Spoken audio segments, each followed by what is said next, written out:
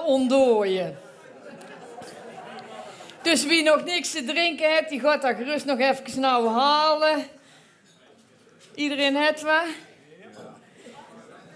Ik wil het met jullie eens hebben over de liefde. Mijn liefde. Voor paarden. Ja, dat is lang geleden begonnen. Dat kende wel als klein jong. Korte pony, strakke paardenstert. Iedere nacht in een nachtmerrie. Petje Rijbers moeder op schoot en die had er kijk op. Die zei, gij wordt later net als ik een heel schoon meulenperd. en ik heb deur gezet met mijn paarden. Ik heb nou mijn eigenste pert en breakfast.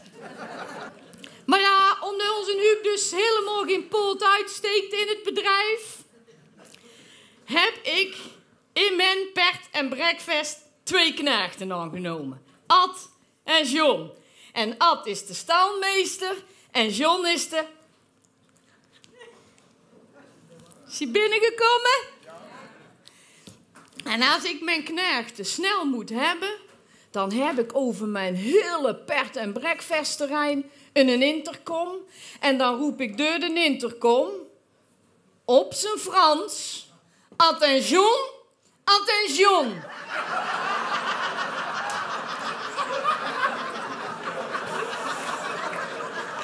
en dan zijn ze mee.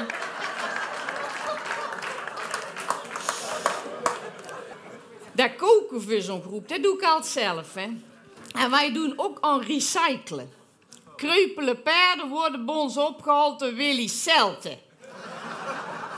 En Willy Celte, die maakt daar op een of andere manier rundvlees van. Ja, maar ik zet dat dan weer als eerlijk product op de kaart. Zo hebben wij macaroni met pony, stoofpotje schimmel, voor de grote eters onbeperkt veuveulen. Voor de visliefhebbers hebben we het zeepaardje. Voor de vegetariërs hebben we de paardenbloemsalade met de knol. Selderie. En als toetje hebben we bonfirevijgen of koffie met uh, piqueur. En met kerstmis, met kerstmis hebben we altijd iets speciaals. Dan hebben we Merry. Merry Christmas. Ik zeg, Huub, wie is Derika?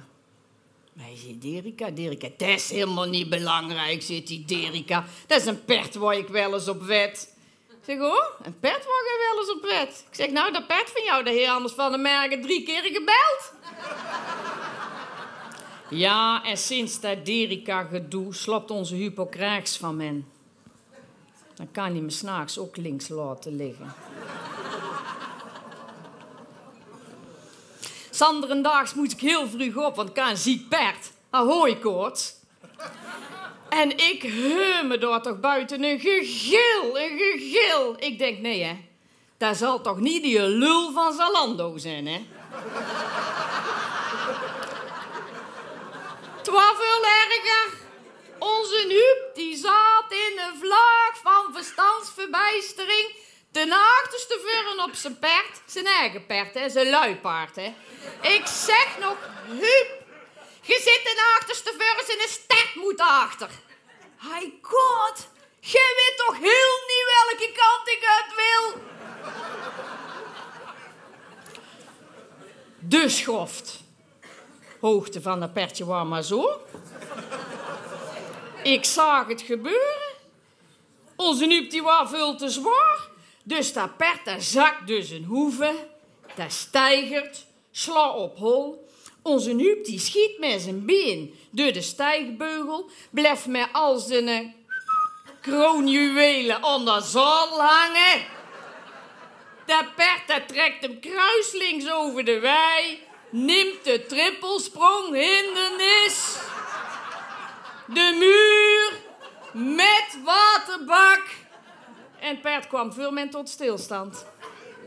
Ik zeg, nou, dat is foutloos en binnen de tijd. maar onze nuuk, die waren half dood. Dus ik geef dat paard een suikerklontje. Ik loop naar de intercom. Roep de intercom op zijn Frans. Attention, attention. Nou, die waren er mee.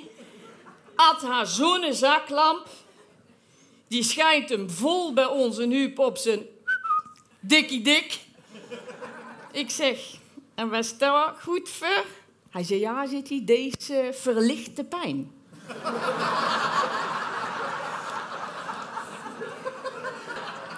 nou, gelukkig kon alles polioklinisch afgewerkt worden. Hij kreeg maar één doktersadvies. Veul, frisse zeelucht. Ik denk, jongen, jongen, onze Nup. Zeelucht. Met zijn luiheid. Op de bank. Nou ja, toen heb ik maar gewoon een nieuwe hering voor de ventilator gebonden. ja. En toen is hij steeds meer gaan drinken. Hij was vorige week zo bezopen. Had je een half uur de ANWB aan de telefoon. Dat is een Shetland pony die starten. en. Maar ik heb daar nog een afspraak, hè om uh, dres uur. En jullie mag raaien met wie. Doen we nog één keer samen door de intercom. Attention, attention. Dankjewel.